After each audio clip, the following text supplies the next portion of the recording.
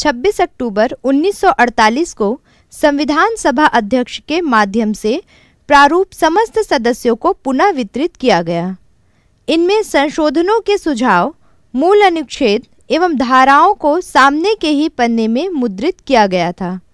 इस प्रारूप में दो अनुच्छेद और 13 अनुसूची थी। 4 नवंबर 1948 को डॉक्टर अंबेडकर ने संविधान का पूर्ण प्रारूप प्रस्तुत किया और स्पष्ट किया कि 1935 अधिनियम का अधिकांश भाग क्यों लिया गया है, तथा भारत में कैसी शासन प्रणाली होनी चाहिए।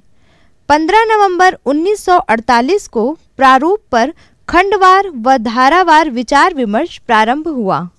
इसके लिए 11 माह तक लगातार अधिवेशन हुए। 17 सितंबर उन्नीस सौ उनचास तक 2500 संशोधन प्रस्तावों पर विधिवत तर्क होते रहे। 8 जनवरी उन्नीस सौ उनचास तक सड़सठ अनुच्छेदों पर निर्णय हुआ। इसे प्रथम वाचन कहा गया।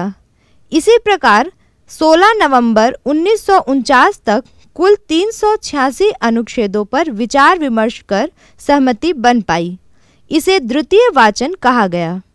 17 नवंबर उन्नीस सौ उनचास को संविधान सभा ने प्रारूप का तीसरा वाचन प्रारंभ किया।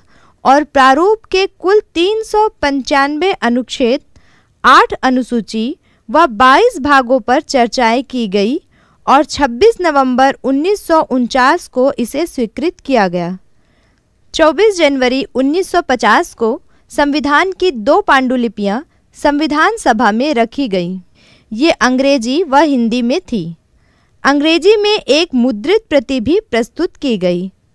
अध्यक्ष डॉक्टर राजेंद्र प्रसाद के निवेदन पर समस्त सदस्यों ने सभी तीनों प्रतियों पर हस्ताक्षर किए। राष्ट्रगान और वंदे मातरम गायन के साथ संविधान सभा का कार्य समाप्त हुआ। संविधान निर्माण में कुल दो वर्ष, ग्यारह माह, अठारह दिन का समय लगा।